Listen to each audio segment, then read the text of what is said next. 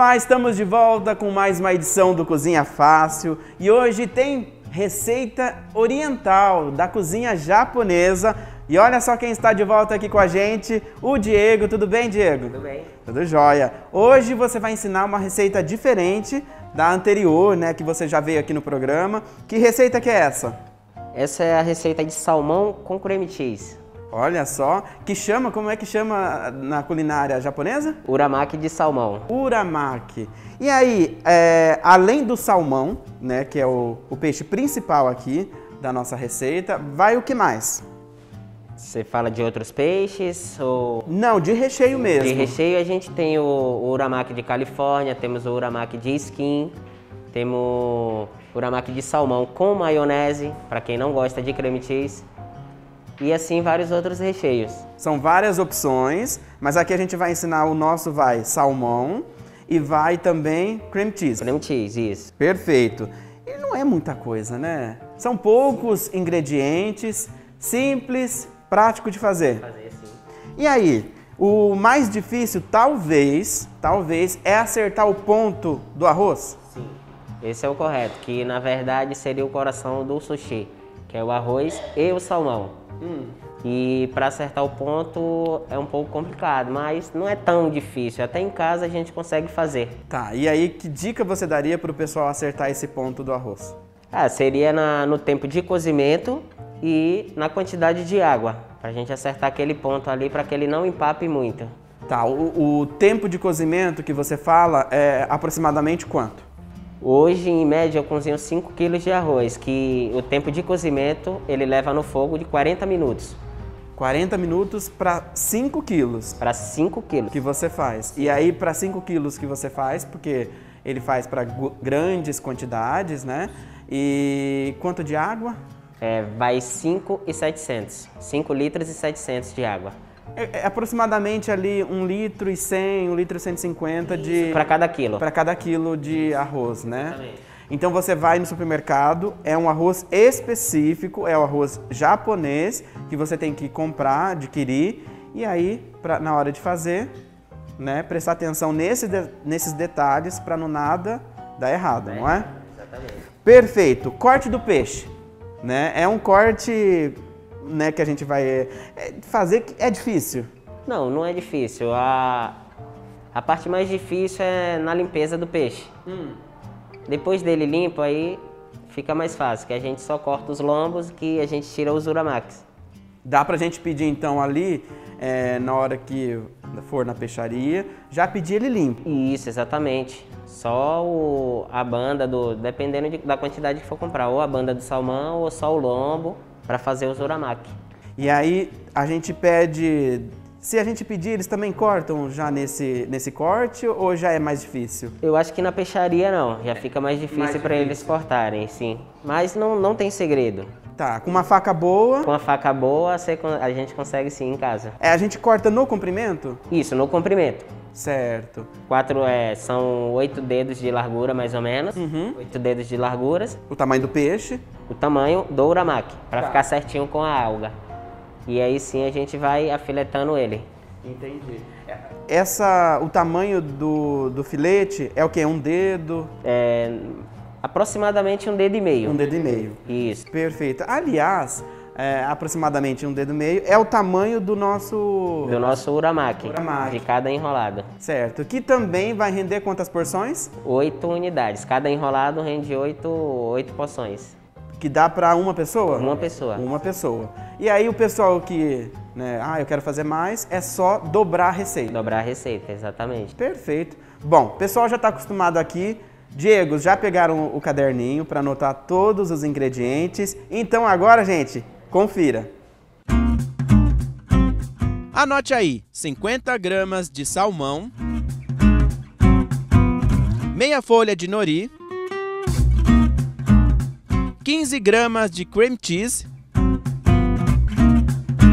gergelim preto e branco a gosto, 80 gramas de arroz e uma esteira para sushi. Estamos de volta e agora para falar um pouquinho mais sobre o modo de preparo. Diego, pessoal de casa vai precisar de uma esteirinha? Isso, vai precisar de uma esteirinha. Hum. E sim a gente passa no sulfilme, porque ela sem o sulfilme o arroz gruda muito, provavelmente não vai dar certo para enrolar. Tá. Pode ser um sulfilme de casa mesmo, não precisa ser esse nosso específico. Perfeito. E aí a esteirinha estando toda coberta, você já consegue trabalhar. Pegou ali a alga, né, o nori, aí você coloca lá, tem que reparar o lado certo, né? Como é que é esse lado aí? Esse lado, esse lado, é, a parte que vai o arroz, ele tem que ficar para cima, que é uma parte mais crespa do, do nori. E, e assim a gente vai pondo o arroz e espalhando com a ponta dos dedos. Hum. E aí a gente não precisa pressionar muito, até porque senão. Não, rasga. senão pode rasgar o nori. Certo. E aí depois, o que, que a gente faz? A gente vai e coloca gergelim? Gergelim, a gente coloca o gergelim e logo após a gente já pode estar tá virando a alga e pondo o recheio que a gente queira. Certo. Inclusive esse que a gente fez, que é o creme cheese. E aí é só enrolar isso. Gente, é muito rápido. E já está pronto para o consumo. Muito rápido. E tem uma técnica aqui que eu vou até pedir para ele adiantar, que é o corte, né? Eu achei que ele ia cortar os pedaços na sequência. Não, você corta. Explica pra gente como é que você corta, que eu achei legal. Na verdade, você pode cortar na tanto na sequência, mas a forma que eu consigo cortar melhor é cortando no meio, depois meio, e aí divido ele, consigo dividir ele em oito pedaços que é muito mais fácil, porque se você for, cortar, for cortando na sequência, você corre o risco de cortar tamanhos diferentes, né? É, um maior, outro mais fino, mais grosso. E dessa maneira, de cortar no meio, aí você pega as duas metades e corta no meio, aí você já consegue ter as quantidades nos tamanhos corretos, né? Perfeito, gente. Adorei a dica. E agora, vamos ver o modo de preparo? Sim, vamos lá. Olha aí. Vamos lá. Abra a esteira. Coloque meia folha de nori com lado crespo voltado para cima. E aí é só adicionar o arroz japonês. Espalhe e aperte com os dedos até ficar por igual, com cuidado para não rasgar o nori. Salpique gergelim a gosto. Na esteira, vire o nori de forma que ele fique para cima e o arroz para baixo. Com a bisnaga, faça um filete de cream cheese em toda a extensão, bem ao centro. E aí coloque o salmão. Feito isso, enrole pressionando levemente.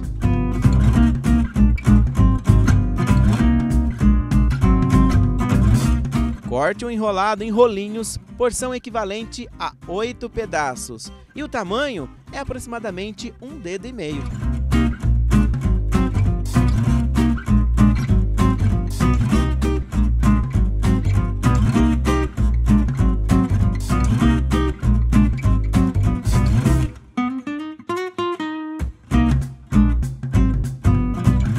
está pronta a nossa receita.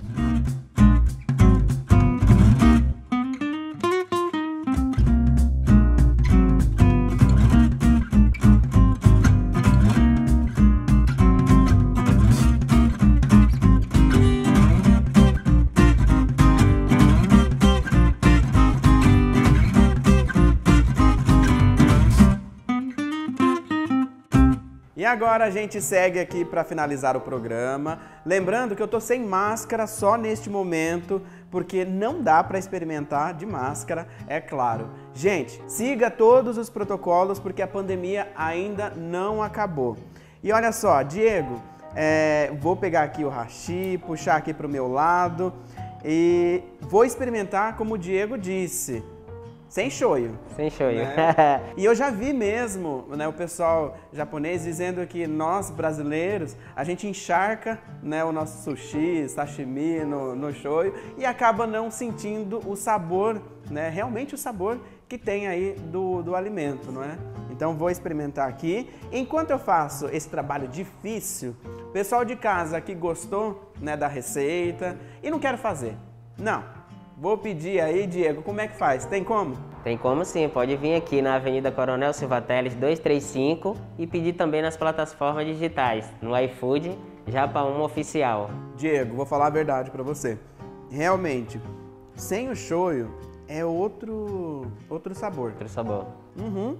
Você consegue sentir de verdade o sabor do salmão, do cream cheese, né? E até do arroz. Arroz. Né? E a crocância também do gergelim. Sim. Bom, é uma combinação perfeita. Eu adoro comida japonesa, né? Acho que o Diego tá, deve estar tá enjoado já. Mas eu vou fazer esse trabalho difícil de, ó, finalizar. Você acha que eu divido com o pessoal? Ah, eu acho é? que não, acho não, que não. Vocês, vocês viram aqui, né? Então, esse prato é só meu. Diego, muito obrigado pela participação. E ó, quando tiver receita diferente, gostosa, só ligar pra gente que a gente volta. Logo, logo em breve, em breve a gente teremos. Valeu. Valeu tchau, tchau.